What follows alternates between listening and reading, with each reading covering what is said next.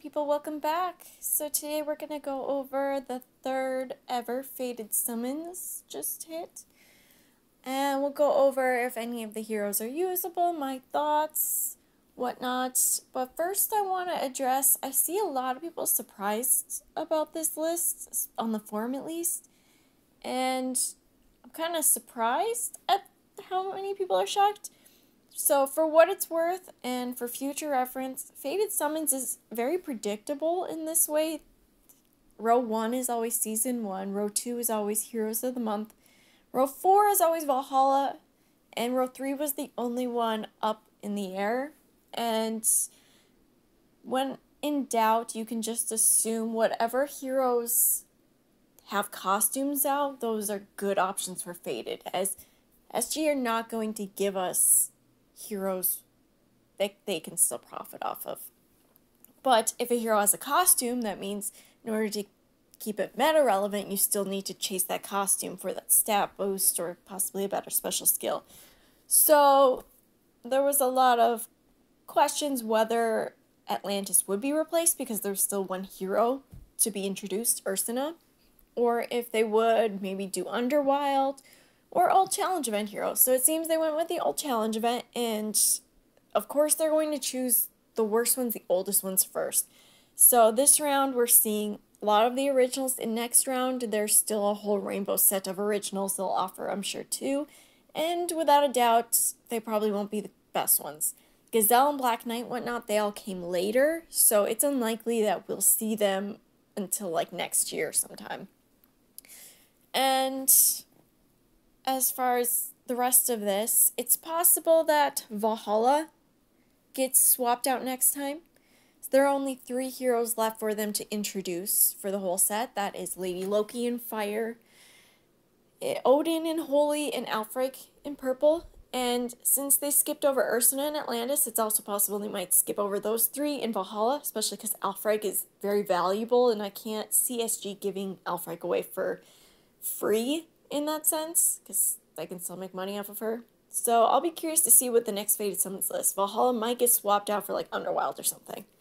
So, but yeah, I've been seeing people surprised that this list isn't better, but Fated Summons has never been Soul Exchange. Soul Exchange actually like they can earn off of because people have to pull 25 stars and they have offers for this. Fated Summons they implemented because in some countries it became illegal for them to offer nothing at a certain price. So certain countries price I mean you couldn't buy things in certain countries like the game was blocked. So in order to bypass that that's how they created fated summons so that for every 100 pulls you're getting something you can't say you're getting nothing for that.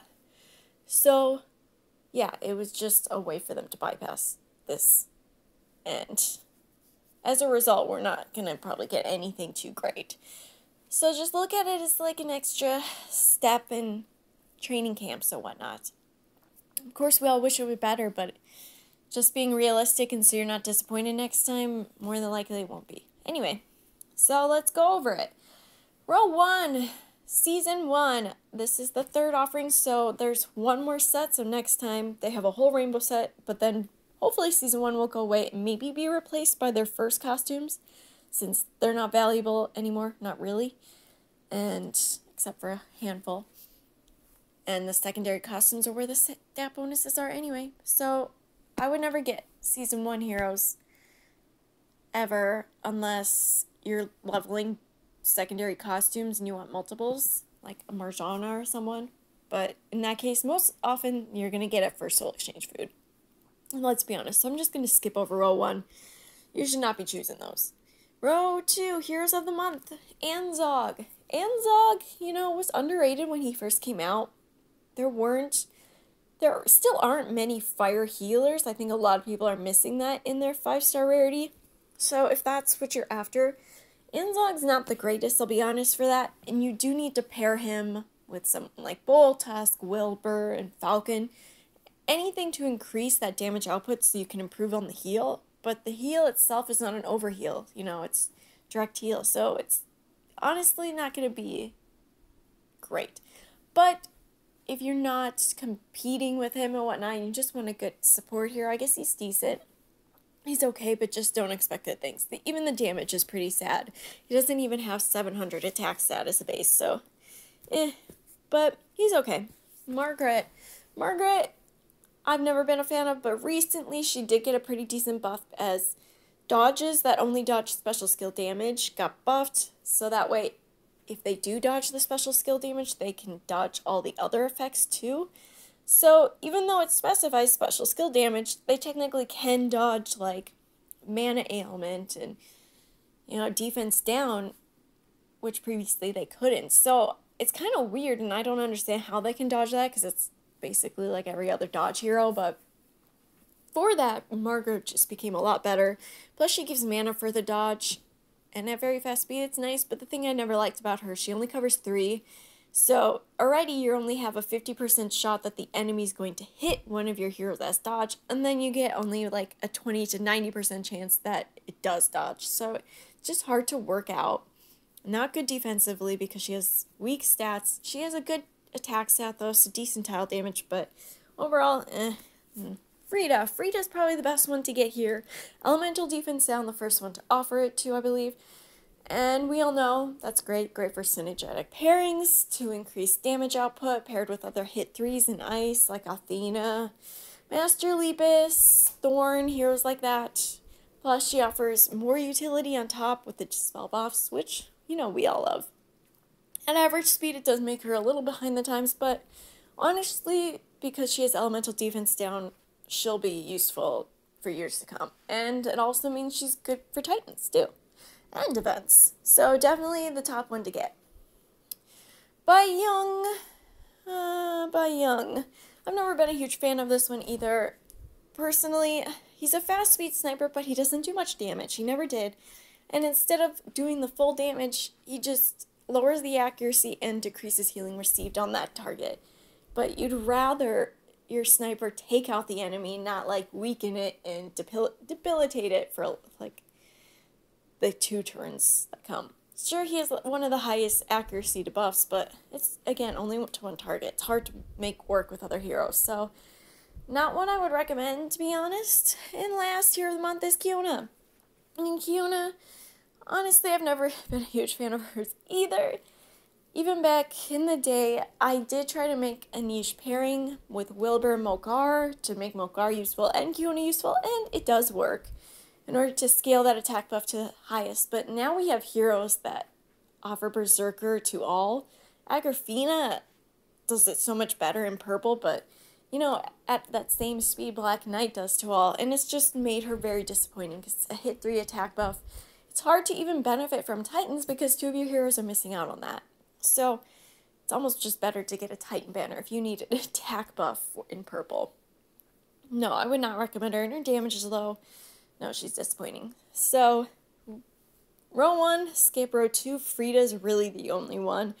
But if you want to order it, I would put Anzog as number two, Margaret number three, Kiona number four, and Bai Yung number five. But really, most of them are not worth it. Row three. The row three is the one that we didn't know what it was going to be, but this does bode well as even though they have a, at least one more set of old event heroes, it's possible they might eventually move to like heroes like Black Knight, Lady of the Lake, Gazelle, who I've always wanted, because they do have costumes out, but also, I mean, so SG can still profit off of them.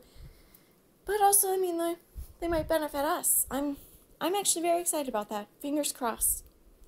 Seasonal heroes too, the very old ones, I can see them putting them into like Master Lepus, Killhair. They're never gonna put anyone new.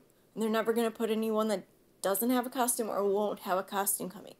If they have a costume coming out, it's possible, but if they don't, off the table, just FYI. But yeah, okay. Let me get back on track to Red Hood. And Red Hood used to be a good counter for when Gwen was a popular tank, but and a great pair next to her. we are long past the day, and she was never that great. But she's one of the few counters to direct mana cut, so I suppose in that small instance, but no, I would not recommend her. She's one of those heroes that does a few things but does none of them well, and it's just hasn't held up well in time. I have I have her. I always wanted her because I loved her art, but when I got her, it's just like wow, you're so disappointing. Morgan Le Fay. Morgan Le Fay. Honestly, like four or five years ago was a good defensive wing. Now, gosh, she can't even hold a candle to any hero. She's one of the worst nature heroes. She's selfish, so she's hard to work on a team. Defensively, she just doesn't do enough and doesn't do it fast enough, even if she has fast speed. And offensively, she takes care of herself, but it's not even that well. I mean, the protection she has is specific to fire. It's just no, she's not. I would not recommend her. Rumpelstiltskin, Rumpelstiltskin. I think some people would find him fun, and for those people, I mean, go for it. It's always your game. Don't listen to anybody else, including me. Follow your gut. But for those of you who like predictability, Rumpelstiltskin's not going to be for you, obviously. But some people like the randomness, even though most of the skills he does, even at random, are not that great in today's meta. I mean, 27% heal and cleanse, that's it at average speed. Oh my goodness. Increasing attack and lowering defense is the only thing. Not great. The only thing is the damage is okay, but like it was okay like a year ago. Now 270 to all at average, and that's really all besides a pathetic poison damage. Yeah, it's just not to be enough. See, his costume makes him so much better, but you don't get the costume. So, eh. Guardian Owl. Now, Guardian Owl is never good, not even for Rush, so I can't even think of an instance where I would recommend him, honestly. But, I guess, just to collect. And last one, Sargasso, who, in my opinion, is actually worse than Guardian Owl. I think he's like the worst purple, even probably worse than Mok-Arr. Uh, hits he does the splash damage, not cone, so it doesn't pair well, but then he only does the reduced healing received, which for a long time was not well regarded, and I still don't really like it. But if you can pair it with like damage over time or reducing max health, it can be kind of useful now, but it's still eh. And it's 90%, like, why can't he at least get the 100% like Perseus? Uh, poor dude, man. I don't, no, I'm not a fan, and I have him now, but Eh, he doesn't get used. Okay, so that row, Rumple would maybe be number one just because he's unique. Red Hood number two, gosh, this is, and it's like, I would not recommend any of these. Morgan Le Fay number three, Guardian Owl number four, and Sargasso number five, but they're all, you know, I pass on all of them. Last one. This might be the last time we see Valhalla Heroes. So let's see, Baldur. Baldur was only good when he got his costume as you cannot choose who you're going to hit with this snipe damage. It's random, which defensively doesn't matter, but offensively it does, and you want to choose. But, I mean, he's another selfish hero, takes care of himself, and he's very unique, so for those of you who like that, but as far as usefulness, I wouldn't say he's really good for that. He's another hero that can protect against mana cuts, though. Probably better than Red Hood if you if you want that. Um, I mean, decent tile damage but really, I don't know, needs the costume to shine, in my opinion. Uh, Frigg.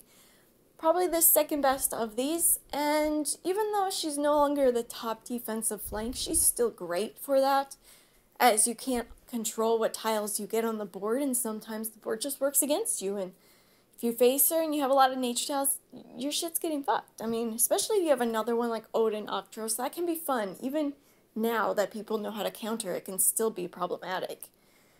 And, I mean, she offers the defense down, which we all know pairs well with many other heroes, especially if you have another nature fast hit all, like Catelyn, her costumes and whatnot, Matt.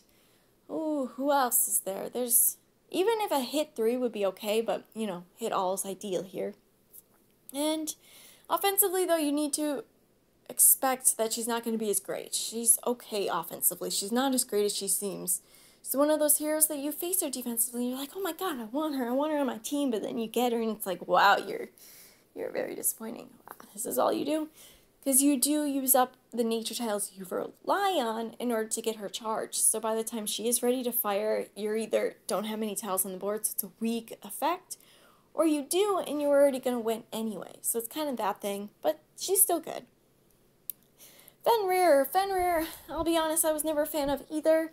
Not a fan of conditional hitters, especially conditional snipers. And he's got the worst, one of the worst conditions ever because it relies on the enemy being half dead. And in today's age with overheal, it's such a rare occurrence.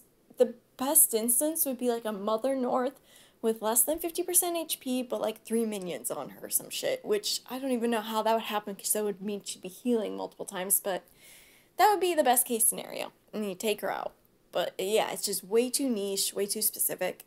His costume makes him so much better too. Ugh. He's another selfish hero too, only takes care of himself. I don't know. Personally, not a fan.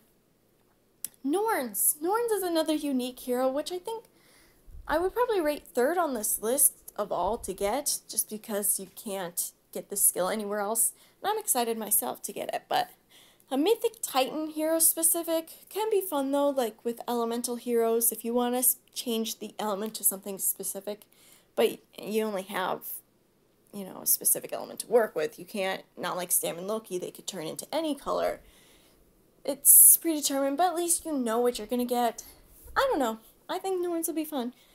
Not great for her damage, but the secondary effect. Last one, Sam and Loki. Sam and Loki has a cult following. Some people really love him, and most others think he sucks and really hate him. I'm kind of excited, to be honest. And if you want to get him for the collection or, you know, try him out like a Sam and Loki war, here's your chance. His costume, like all basically make him better, even though he has the only costume that makes him slower. But you have that option if you want to chase his costume, but if not, 250, the thing is, it's specific to holy enemies, so like Mok-Arr, which, ugh, I mean, you're only hitting a specific subset of heroes, but like Mok-Arr, he hits all but dark. Sam and Loki only hits one element, so it almost makes him worse. But he has that cool instance where he changes the enemy's color.